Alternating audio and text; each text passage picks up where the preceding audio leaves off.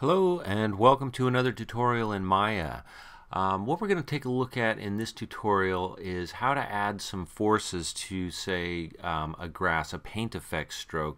Um, this is just some simple grass that I created using paint effects and um, basically that's from the paint effects menu up here and what I've done is I've animated this uh, so that it sort of has some turbulent forces acting on it. A lot of times you may need some, um, you know, some natural organic uh, elements like air uh, blowing through the grass, and this is sort of an easy way to get it done. There's several different ways to do this, but what we'll take a look at today is how to add turbulence um, by just kind of connecting it into the uh, grass clump right here. And there are some properties here that you can work with to make your uh, grass animated. Now, as you can see in this animation, I have I've basically keyframed these pieces of grass to sort of unfold in the beginning of the animation here. So you'll notice that as they go through there, they just sort of unfold. And then, uh, so those are keyframeable. And everything in here is pretty much keyframeable. Um, you can animate anything from in here. And I'm going to show you how to do that. So let's take a quick scene breakdown. And um, if you look at the render view, this is sort of what I have so far, and it's basically just a, um, you know, I just did some cheesy uh, uh, textures and I sort of painted some rocks in here, but that gives you the overall idea of what we're going for here. Maybe in an architectural thing you might need to add a little bit of, you know, a little bit of movement, and that helps animate the scene. So anyway, this is essentially what it looks like in the viewport. So let's just look at this for a moment before we do anything else. And I'm going to come over here and show you what it is. It shows up as grass clump one. Um, this was the first stroke that I put on the um, on this plane.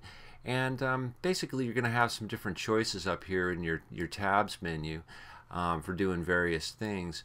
For right now, what we're concerned with is this grass clump 1 and you'll notice that there's different um, you know you can give it you can change the global scale of it by just you know using your global scale there.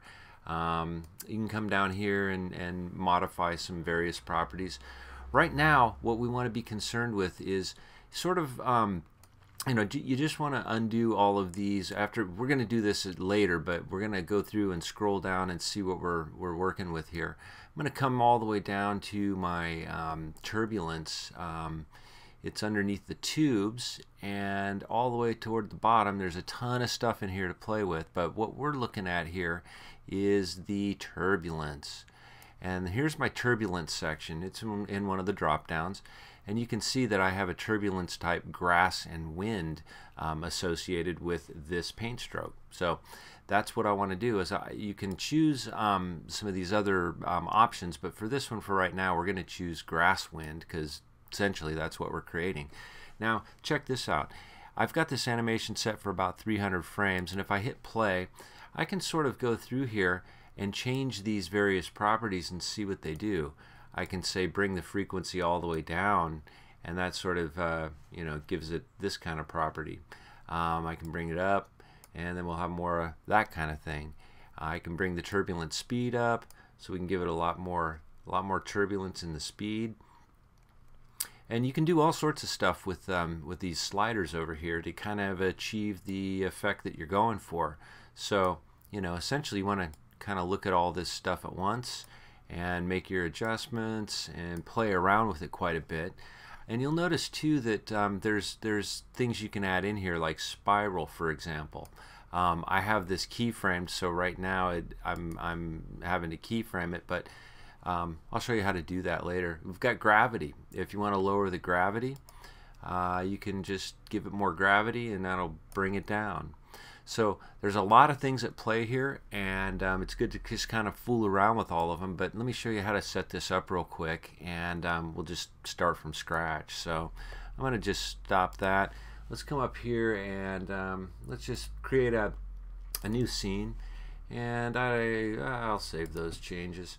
So here we have uh, just our regular grid. Let's go ahead and create a, um, let's just go ahead and create a plane. That'll kind of let us see what we're doing. We'll just sort of drop a plane on there. And now let's come up here into, um, say, paint effects.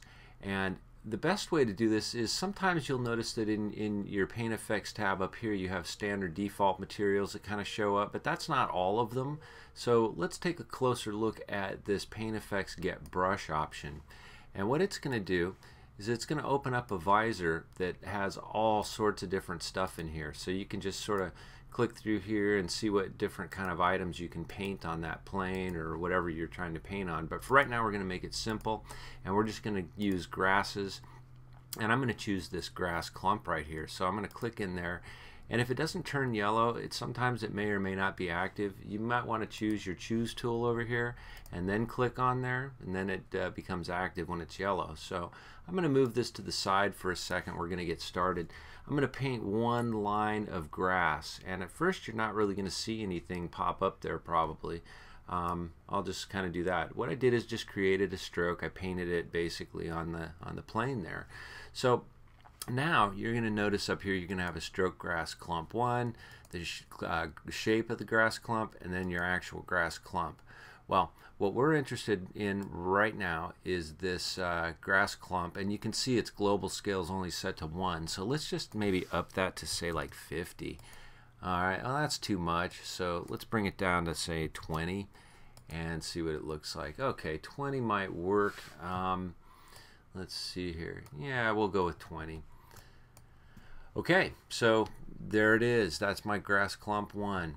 And um, what we might want to do now is just go into our, um, you know, go into your shading mode, um, go into to, to your uh, regular smooth shade. Let's come in here a little bit, and um, I'm gonna uh, I'm gonna bring this down just a little bit here, and we'll go up there. And as you can see, we've only set our keyframe, or I mean our timeline for 24 here. So let's set it to about 300 just to give us some time to work. And now we're ready to look at some of these other things.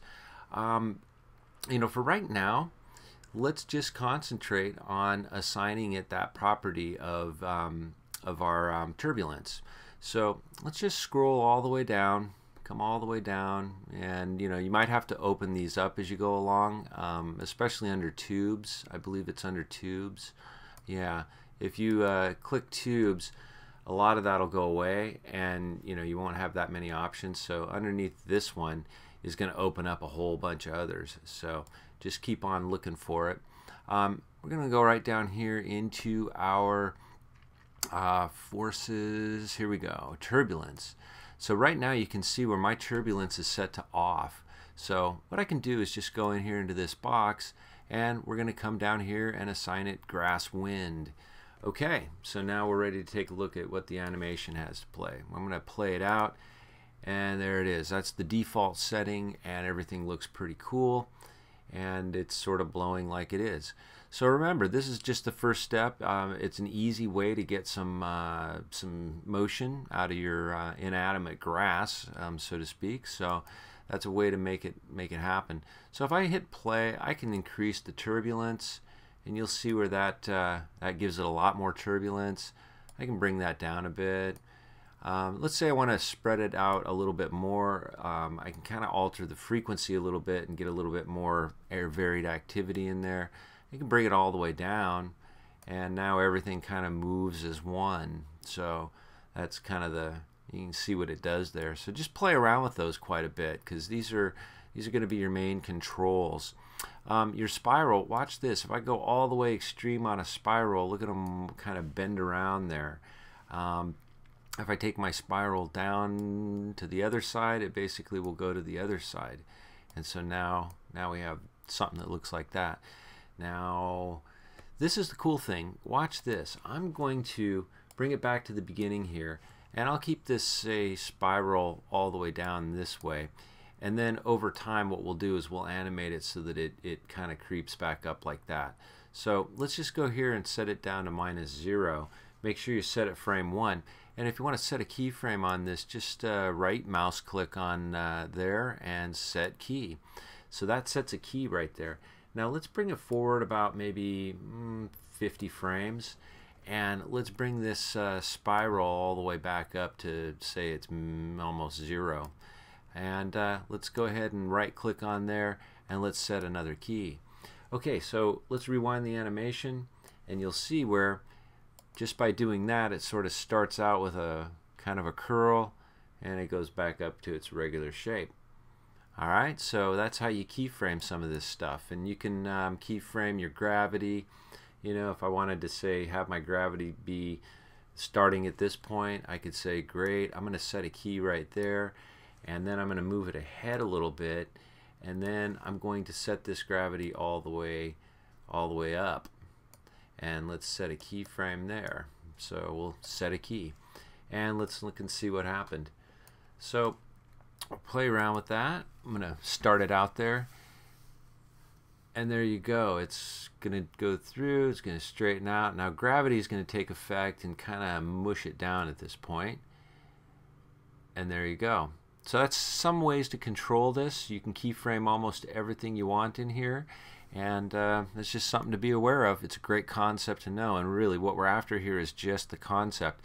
Um, you can apply this to you know other types of paint effect strokes and there's no end to what you can do with these things. So this is sort of just a quick starting point of an organic um, element that you may need to add a little motion to in your scene and that'll give it a lot more life. So um, let's take a look at one more property up here. Um, you know, there's various shadowing uh, and on, on you know, usually on a single thing like grass like this, just make sure branches are checked. If you check leaves, um, sometimes you know wacky things will happen. So you can uh, you can kind of play around with that.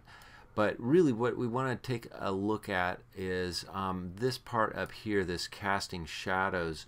Um, you'll notice that uh, if I go back to maybe say right about here, let's take a render real quick and um, see what that looks like I'm just going to take a render right here. Right now I'm in Mental Ray, and remember that Paint Effect strokes you need to be using Maya software. Um, it just uh, it'll be a pain in the butt if you don't. So essentially that's what I got right now. It doesn't look too pretty, but um, let's let's take a closer look at that. Um, if we had a light in here, I would have to create a light, and let's just put an ambient light in. And oh no, let's let's not. Let's do a um, let's create a, uh, a light that kind of throws a shadow like say a point light. And let's take that point light and move it all the way up and yeah we'll just move it into there somewhere. We'll bring its intensity up quite a bit maybe turn it on down here so we can see it. And um, yeah, we might want to bring this more toward the front. Um, let me take a quick render on here and we'll see what happens Okay, so essentially that's what I got. But you can see where it's, shadowing down here. Um, I can take that shadow on or off. Um, let's see, let's get back to our outliner. Let's choose our grass clump, um, not the curve, but we want the grass clump 1. And let's take a look at that shadows. So it's casting shadows right now. If I turn that off, um, we'll do another quick render This is just something to be aware of. That's kind of where you find your shadows and stuff. So you can play around with that. Um, generally, I like um, I like shadows, but you know you may need um, to to vary them a little bit. You can try the fake shadows up here too. These will um, do some different things, but right now I don't really think we got time to get into that. So anyway, just something to be aware of, and uh, that's about it. So. Uh, I'm just going to take my uh, intensity down on that light a bit. And there you have it. So go ahead and play around with that. Make your grass, uh, make your grass do some strange stuff, and um, you know, play around with that concept. So that's about it for this one, and I hope you learned something. And uh, thanks for watching my tutorials. And remember, as always, read a book, learn something. okay. Thanks for watching.